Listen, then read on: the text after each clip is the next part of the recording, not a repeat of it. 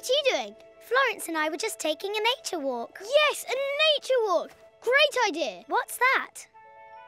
Oh, this is my very own just-in-time pocket, like yours. You mean just in case pocket? Oh, right. anyway, it's got all kinds of useful stuff in it. Some string, uh, a clothes peg, and, uh, this. Big, isn't it? I borrowed it from my dad. Wow. Ooh. Hmm. It uh, might be even better with some glass in it. Uh, here, why don't you use mine? Yours? Are you sure? Of course. Sharing is what true friends do. True friends. Come here, rabbit. Come on. Up and I'll have you for lunch. I didn't mean to wake you. It was an accident. Come back here! Yeah! No!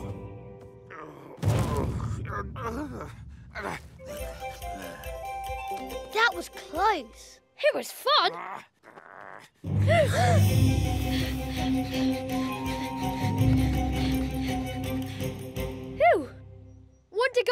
adventure? We're already on one.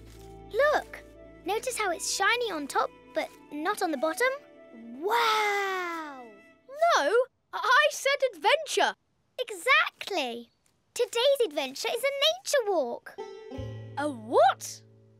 Yeah, you know, looking at leaves and trees and bugs. But Mr. McGregor's garden is full of radishes right now, just waiting for us to. Hey, Lily, why is it greener around the edges? Because that's where the sunlight touched it. I know that for a fact. Okay then, nature walk it is. Yeah! Wow! Oh, that's brilliant!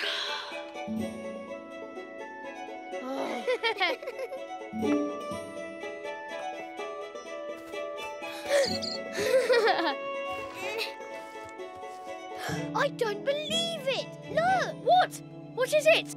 A secret tunnel? A hidden cave? It's a ladybird that looks just like Florence. Ah. I'm going to call him Lawrence, and I'll carry him everywhere, just like you do.